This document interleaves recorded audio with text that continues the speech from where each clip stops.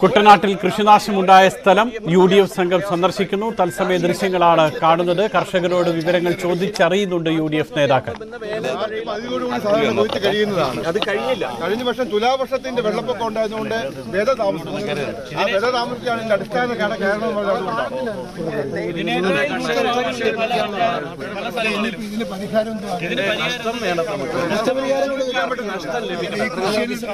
കൊയ്തെടുക്കാൻ പറ്റില്ല ഇൻഷുറൻസ്. വിള ഇൻഷുറൻസ് അനുവദിച്ച് ജി ശ്രീജിത്ത് വിവരങ്ങളുമായി ചേരുന്നുണ്ട്.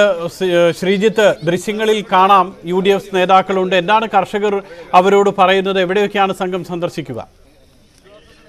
പ്രധാനമായും നേരത്തെയൊക്കെ ചൂണ്ടിക്കാട്ടിയ പ്രശ്നങ്ങളാണ്. ഈ കൃഷിയുമായി ബന്ധപ്പെട്ട് മുന്നോട്ട് പോകുമ്പോൾ ഒരു തരത്തിലും ലാഭകരമല്ലാത്ത സാഹചര്യം അല്ലെങ്കിൽ ഇൻഷുറൻസ് അടക്കം ഉണ്ടെങ്കിൽ കൃഷി നാശമുണ്ടായാൽ ഇൻഷുറൻസ് തുക കൃത്യസമയത്ത് കിട്ടാത്ത പ്രശ്നങ്ങൾ ഇതെല്ലാം ചൂണ്ടിക്കാണിക്കുകയാണ് കർഷകർ ചെയ്തുകൊണ്ടിരിക്കുന്നത്.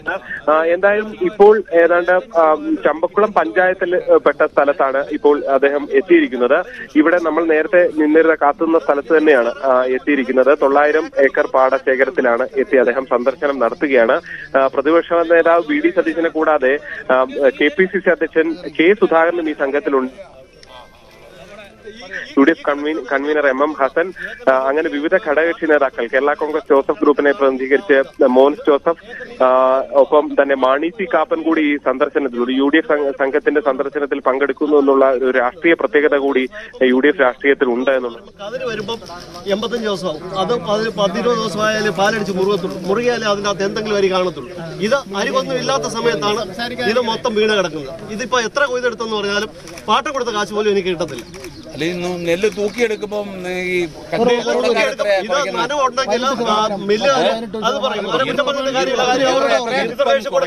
എത്ര ശതമാനം പതിനഞ്ചായിരുന്നു കഴിഞ്ഞ ദിവസം. സർക്കാർ സർക്കാരിന്റെ നിയമം അനുസരിച്ച് പതിനേഴാണ്. മോൺസർ പതിനേഴ് കൂടുതലുള്ളതിന് ഓരോന്നിനും ഓരോ കിലോ വെച്ച് കൊടുക്കണം.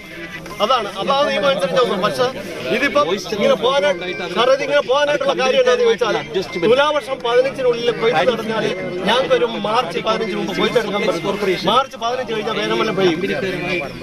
അത് ഇത് സംഭവിച്ചെന്നാൽ ഇത് വലിയൊരു പാഠമാണ്. ഞങ്ങൾക്ക് പുറമണ്ടില്ല ഈ പുറമണ്ടുണ്ടെങ്കിൽ ഈ ഇത് കണക്ക് പുറമണ്ടുകൾ കിട്ടിയെങ്കിൽ മാത്രമേ ഞങ്ങളുടെ കൃഷി കൃത്യമായ രീതിയിൽ സമയത്ത് പോകാനും ആ സമയത്ത് തുലാം പതിനഞ്ചിന് വെച്ചാൽ സർക്കാർ പറയുന്ന കാർഷിക കലണ്ടർ അനുസരിച്ച് ഞങ്ങൾക്ക് വിളവ് മുന്നോട്ട് കൊണ്ടുപോകാൻ പറ്റും. മാർച്ച് പതിനഞ്ചിന് മുമ്പ്. മാർച്ച് പതിനഞ്ചിന് മുമ്പ് കൊയ്തെടുത്ത് വിളവ് നശിക്കാത്ത രീതിയിൽ കൊണ്ടുപോകാൻ പറ്റും.